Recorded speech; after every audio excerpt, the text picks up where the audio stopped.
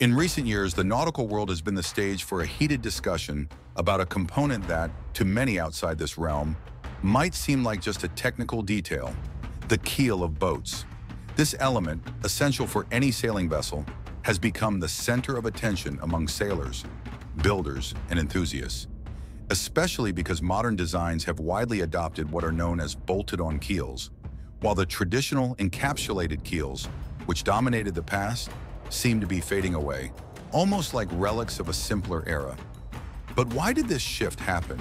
What does it mean for those planning to sail beyond the horizon, on ocean crossings or coastal cruises?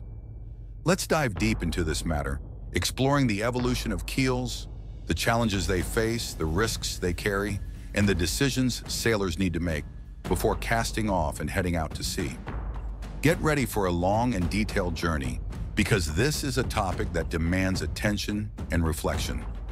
Before we move on to the different types of keels and their implications, it's worth understanding why this piece of structure at the bottom of the boat is so crucial.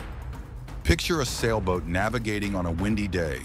The sails capture the wind's force, pushing the boat forward, but also creating lateral pressure that could easily tip the vessel over if there weren't something to counterbalance it.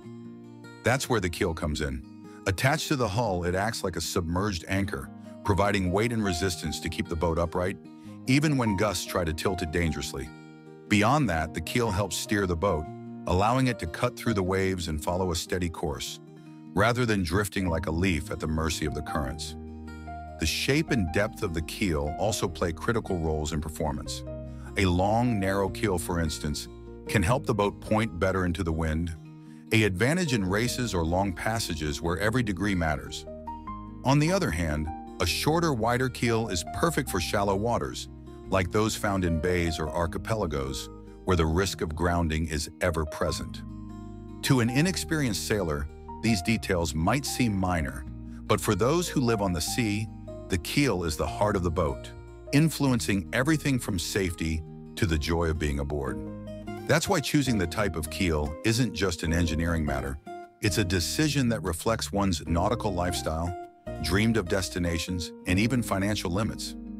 Looking back a few decades, boat construction followed a method that today feels almost artisanal, especially when it came to the keel. Back then, the hull and keel were molded together as a single, continuous piece of fiberglass, creating a solid, integrated structure. Once this foundation was complete, the inside of the keel was filled with ballast, heavy materials that gave the boat the stability needed to face the sea. Lead was the preferred choice thanks to its density and efficiency, but it wasn't uncommon to see iron or even concrete used, depending on what the shipyard had on hand or the budget allowed. This process resulted in a nearly unbreakable bond between hull and keel, a submerged fortress that withstood brutal impacts, like when the boat hit rocks or grounded on sandbanks. This approach had a clear logic. By eliminating joints or connection points, the keel became virtually immune to structural failures. If the boat took a violent hit, the force spread across the entire structure, reducing the risk of cracks or separations. It was an ideal solution for sailors of old, many of whom navigated uncharted waters without the precision instruments we have today. But like any choice, this robustness came at a cost. Building the hull and keel as one was a labor-intensive process requiring time, skilled workers, and a significant amount of materials. On top of that, the keel's design was tied to the hull's limitations. There was no way to tweak it for better speed or to adapt the boat to different sailing conditions. Imagine, for example, a sailor who wanted a faster boat capable of competing in races or slicing through the wind at tighter angles. With an encapsulated keel, that was nearly impossible without redesigning the entire vessel, driving costs to prohibitive levels. As the nautical market grew and consumers began demanding more affordable and versatile boats, manufacturers realized they needed an alternative. That's when bolted-on keels started gaining traction, marking a turning point in how boats are designed and built. With bolted-on keels, the process changed dramatically. Instead of molding the hull and keel as a single unit, shipyards began making the hull separately, leaving the keel to be attached later. Made of metal or reinforced fiberglass, the keel was then fastened to the hull with large, sturdy bolts, creating a joint that, while not as seamless as the old method, offered unprecedented flexibility. This innovation allowed manufacturers to offer a variety of options for the same boat model. A hull could roll off the production line and be fitted with a short keel for shallow waters or a longer one for open seas, depending on what the buyer wanted or where the boat would be used. Well-known brands in the nautical world like Beneteau, Catalina, and Hunter embrace this system eagerly, offering choices such as 2.1-meter keels, popular in 2003 Europe, where deeper waters allow for bolder designs, or 1.5-meter keels, favored in North America, where shallow bays and channels are common. For shipyards, the advantage was twofold. Besides cutting production costs, since standardized hulls could be mass-produced, the process sped up delivery to the market. For sailors, it meant more freedom to customize their vessels, striking the perfect balance between performance, safety, and practicality. But not everything about this transition was flawless. Encapsulated keels, with their monolithic construction, have a strength that still captivates many sailors, especially the more traditional ones. The lack of joints or bolts means that, in a grounding or collision, the impact spreads across the hull, making it unlikely for the keel to simply detach. The ballast sealed within the structure stays protected from saltwater and external damage, theoretically ensuring exceptional durability. For those sailing in rough seas or planning to cross oceans, this solidity is a comfort that's hard to overlook. On the flip side, encapsulated keels carry challenges that can't be ignored. One of the biggest issues arises when the structure's integrity is compromised, something that can happen due to manufacturing flaws or natural wear over the years. If seawater manages to seep into the cavity where the ballast is stored, the consequences can be disastrous. Iron, for instance, starts to rust, expanding and cracking the surrounding fiberglass like a silent time bomb. Concrete used in more budget-friendly boats can absorb moisture and break down, turning what should be a solid weight into a fragile, crumbly mess. When this happens, repairs are a nightmare. Unlike a bolted-on keel, which can be removed and replaced with relative ease, Fixing an encapsulated keel requires cutting into the hull to reach the ballast, a costly, time-consuming process that few shipyards are willing to tackle. Plus, the fixed keel design limits the boat's performance. Boats with this type of construction tend to be slower and less agile, making them less appealing for those who want to race or sail in strong winds. And there's another catch. Boats with encapsulated keels are usually older often lacking the modern comforts today's sailors expect, like spacious cabins or swim platforms for diving. Anyone wanting to combine the safety of an encapsulated keel with an updated design needs to be ready to shell out a fortune, something in the range of half a million dollars or more. Bolted-on keels, meanwhile, ushered in a new era of possibilities but also of concerns. The design freedom they offer is undeniable, Naval architects can experiment with different shapes and depths, crafting boats that meet a vast array of needs.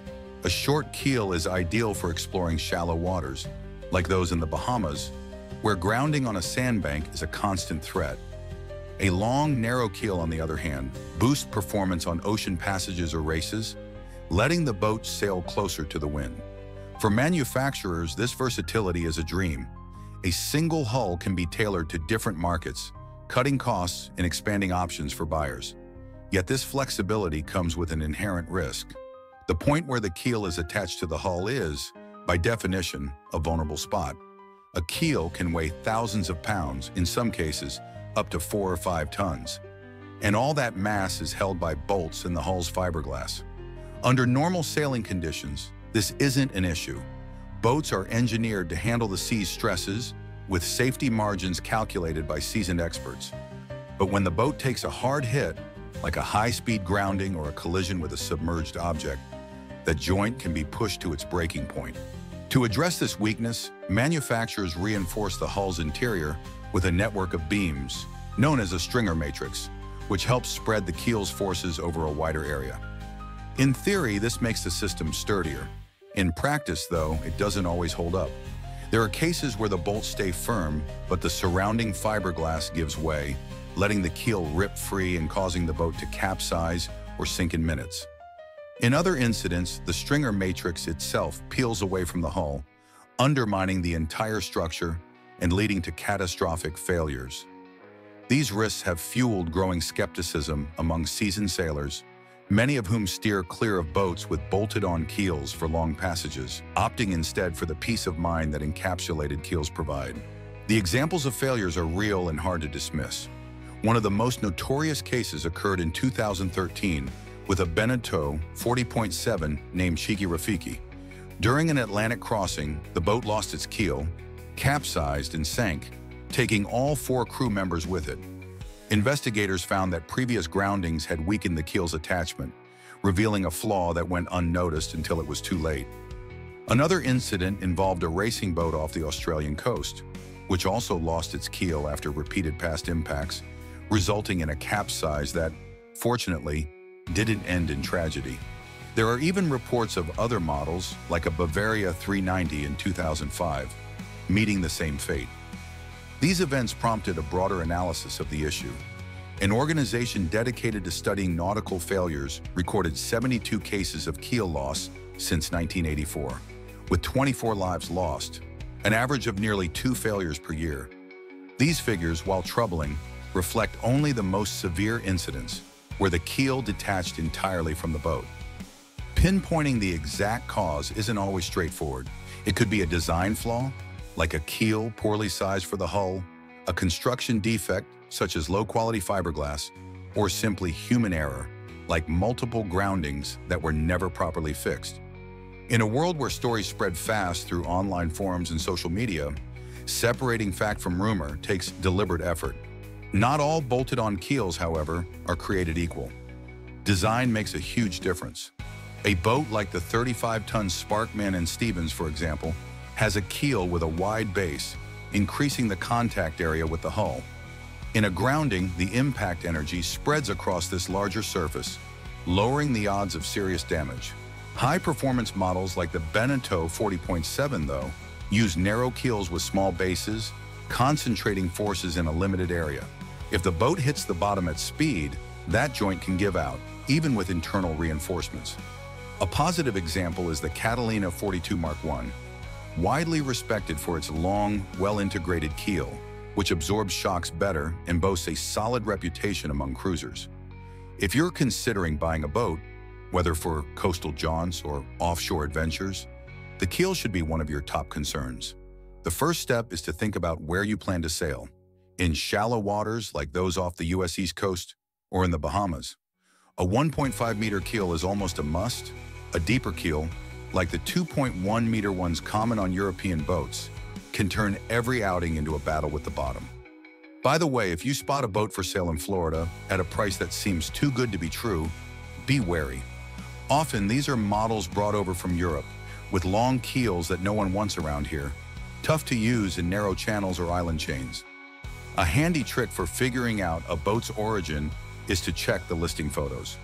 If the interior electrical outlets are European style with 220 volts, it's likely the boat has a 2.1 meter keel. North American 110 volt outlets typically signal a shorter keel, built for the local market. During inspection, zero in on the details. For bolted-on keels, look at the bolts for signs of rust or wear, Oval-shaped holes or cracks in the surrounding fiberglass are red flags. Outside, check for fissures at the hull keel joint, especially at the forward edge, where grounding impacts tend to show most. For encapsulated keels, look for evidence of water seepage or ballast damage, like paint blisters or excessive moisture. The boat's history is another critical factor. Ask the seller about past groundings and how they were handled. A boat that's hit the bottom multiple times without proper repairs is a potential hazard, even if it looks pristine at first glance. And if you can, pick a model with a strong reputation. The Catalina 42, for instance, is known for its resistance to keel failures, even in tough situations, thanks to a thoughtful design that prioritizes safety without sacrificing usability. Maintenance is just as vital, no matter the keel type. On bolted-on models, Regularly inspect the bolts and hull keel joint, especially after any incident. If there's any sign of movement or damage, call in a professional right away. Small issues can escalate fast at sea. For encapsulated keels, keep an eye on the hull's sealing to prevent leaks. and after a grounding, get a thorough assessment to rule out hidden cracks. In both cases, preventive care is cheaper and safer than dealing with a failure mid-voyage. Looking ahead, keel design is far from stagnant. Technology is advancing, bringing lighter, stronger materials like carbon composites that promise better performance without compromising safety. Sustainable alternatives to lead, such as recycled ballast, are also being explored, while naval architects refine designs to strike the perfect balance between speed, stability, and cost. The debate between encapsulated and bolted-on keels may shift with these innovations, but for now the choice rests with sailors, who must weigh the pros and cons based on their own needs. Ultimately, deciding between an encapsulated keel and a bolted-on one is a matter of personal priorities. The former offers near unshakable security, but with design limitations, high costs, and the potential for hidden ballast issues. The latter brings versatility, modernity, and a more accessible price tag, but demands constant vigilance and a clear grasp of its weaknesses. Whatever the choice, knowledge is what makes the difference. Understanding how the keel works, spotting wear signs, and learning from sea stories can turn an uncertain trip into a confident adventure. So what do you think? Have you faced a keel challenge with your boat? Share your experiences. The sea is a generous teacher, and every tale has something to teach us.